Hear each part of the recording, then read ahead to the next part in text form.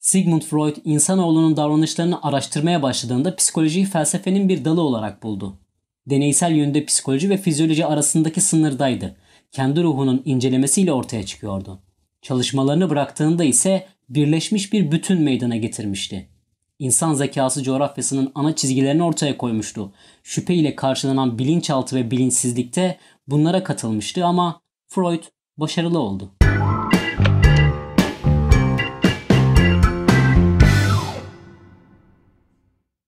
Sigmund Freud 6 Mayıs 1856 yılında Avusturya'nın Freiburg kentinde 21 yaşındaki annesi Amelia Freud'un ilk çocuğu olarak dünyaya geldi. Babası Jacob Freud'un ise 4 çocuğu daha vardı. Sigmund Freud doğduğu andan itibaren annesi dünyada büyük işler başaracağına ve onun isminin hiç unutulmayacağına inanıyordu. Bütün hayatı boyunca da asla bu inancından taviz vermedi.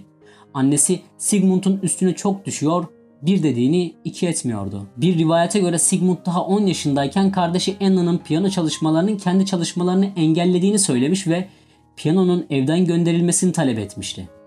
Nitekim annesi bu isteğini kabul etti ve Anna'nın piyanosu evden gönderildi. Yaşı ilerledikçe annesiyle bağının giderek arttığını iliklerine kadar hissetmiş, ünlü bir birey olduğunda hayatı boyunca annesinin gözdesi olduğunu bilen insan kendisini bir fatih gibi hisseder ve başarıya ulaşacağına o derece güveni vardır ki elde ettiği başarılar kendisine küçük görünür demişti. Jacob Freud ve ailesi Sigmund doğduktan 4 yıl sonra ticaret yapmak için Viyana'ya göç etti.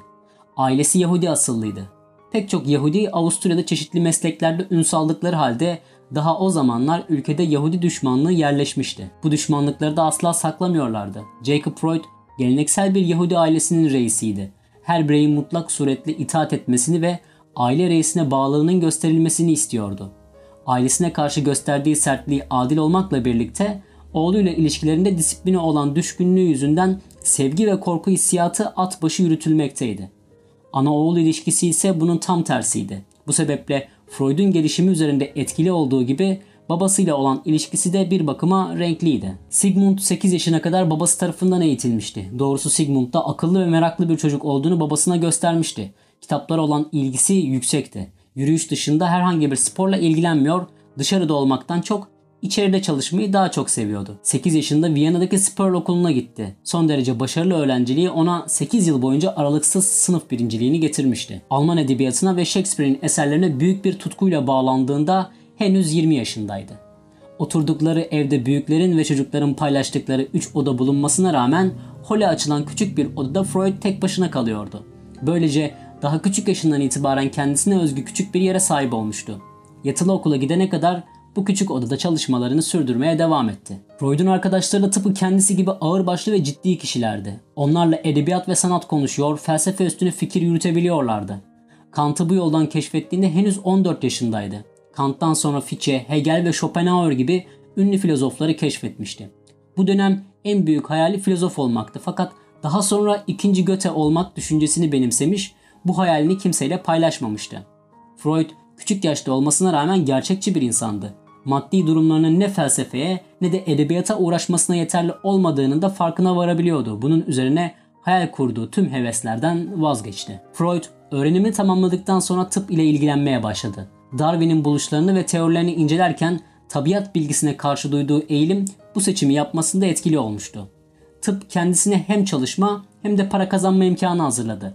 Babası oğlunun uzun bir süre üniversite dönemi geçirecek olmasına maddi durumlar el vermediği halde karşı çıkmadı. Böylece Freud 1873 yılının sonunda Viyana Üniversitesi'ne başladı. Üniversitenin ilk yılları epey zorlu geçiyordu çünkü Yahudi düşmanlığı burada da yakasına yapışmıştı.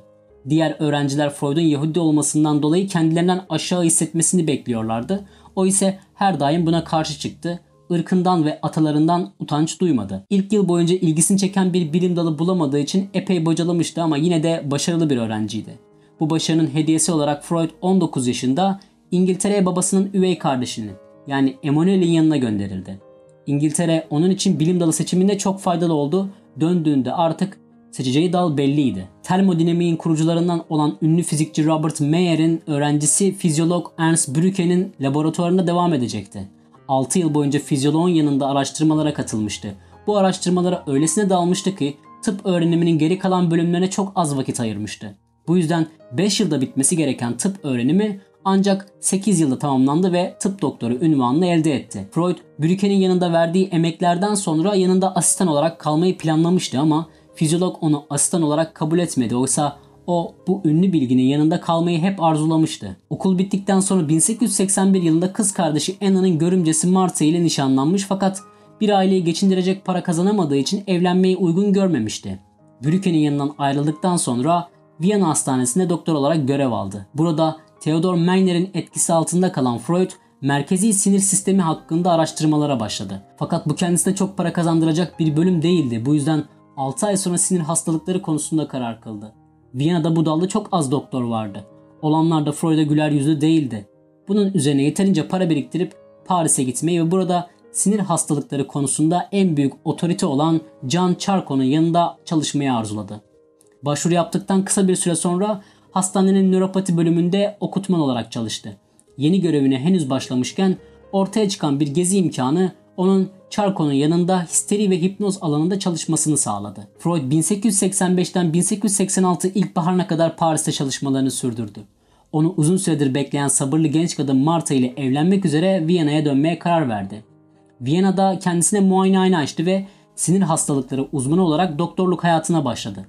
Bağımsız çalışma döneminin ilk günlerinde direniş ve dertlerden başka bir şey görmedi. Viyana Tıp Derneği Freud'un Charcot'un döneminde geliştirdiği yeni fikirlerini benimsemedi ve eski hocası Miner de Freud'un tedavide hipnotizmaya başvurmasını iyi karşılamayarak onu beyin anatomisi enstitüsünden ihraç ettirdi.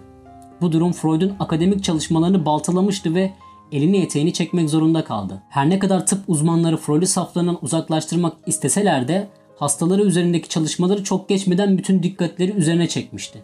Kısa bir süre sonra muayenehanesindeki bekleme salonu her türlü sinir hastasıyla dolup taşıyordu. İşte teorilerini ve buluşlarını hazırlamasına sebep olan hastalar bu insanlardı. İlk çalışması isteri nöbetlerinin nedenleri üzerine oldu. 10 yılın sonunda ortaya çıkan çalışmalarının sonucu isteri üzerine araştırmalar tıp psikolojisi tarihinde bir dönüm noktası olmuştu. Sinir hastalıklarının kökeninde bilinçaltının en önemli etken olduğu ilk defa bu araştırmada yayınlanmıştı. Buna dayanılarak sinir hastalıklarında yeni bir tedavi yöntemi ortaya çıktı. Psikanaliz. Bu yeni kavram tartışmaları da beraberinde getirmişti. Bütün bu tartışmalara ve direnişlere karşı sinir hastalığının nedenini ortaya koymak ve tedavilerini sağlamak için çalışmalarına hızla devam etti. En son teorileri ile rüyalara birer anlam buluyor ve ilkel toplulukların geleneklerinde edebiyat ve sanatta gündelik hayatın içinde oluşan türlü eylem ve düşüncelerde varlığını ortaya koyan bilinçsiz kuvvetlere birer anlam yakıştırıyordu. 1900 yılında yayınlanan Rüyaların yorumu kendisine uluslararası bir ün sağladı. Bu zamana kadar sadece Viyana'da Freud üzerine yapılan tartışmalar artık tüm dünyaya yayılmıştı. Buna rağmen o çalışmalarına titizlikle devam etti. Bu tartışmaları körükleyen diğer çalışmaları da peşi sıra gelmeye devam etti. Bu eserler 1904 yılında yayınlanan Gündelik Hayatın Psikopatolojisi idi. Daha sonra bunu 1905 yılında aklın bilinçaltı ile ilişkisi ve cinsellik teorisine 3 katkı araştırmaları izledi. 1913 yılında ise Totem ve Tabu yayınlandı. Freud'un evlilikten 6 çocuğu olmuştu. 3 erkek çocuğunu 1. Dünya Savaşı'nda askere göndermek zorunda kaldı.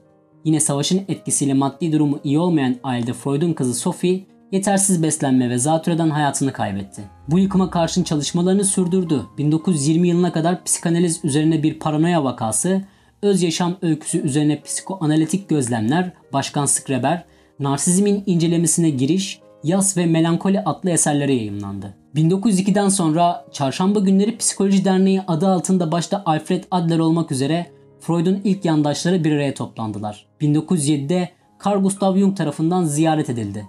Jung aynı yıl Zürih'te Freud Derneği'ni kurdu. Bu Freud için büyük bir başarıydı. Zira psikanaliz artık ülke sınırlarının dışına çıkmıştı. Takip eden yıllarda Jung birinci psikanaliz kongresine katıldı ve psikanaliz üzerine konferanslar vermek üzere Freud ile birlikte Amerika Birleşik Devletleri'ne yolculuk etti. Freud'un eserleri sebep olduğu sürtüşmelere karşılık psikanaliz sinir hastalarının tedavisinde bir metot olarak kendisini kabul ettirdi.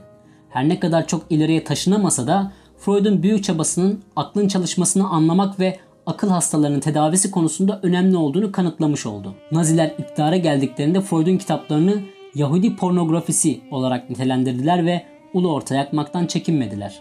1937 yılında Hitler Avusturya'yı topraklarına katacağı belli olunca Freud'un dostları onun güvenliği konusunda endişelendiler ve onu Viyana'yı terk etmesi konusunda ikna etmeye çalıştılar. Buna rağmen Freud önce bunu reddetti. Her gün 20-25 pro içmesinden mütevellit 15 yıl boyunca çene kanseriyle mücadele eden 82 yaşındaki Freud'un Avusturya işgal edildikten sonra mallarına el konuldu ve çalışma yapması engellendi.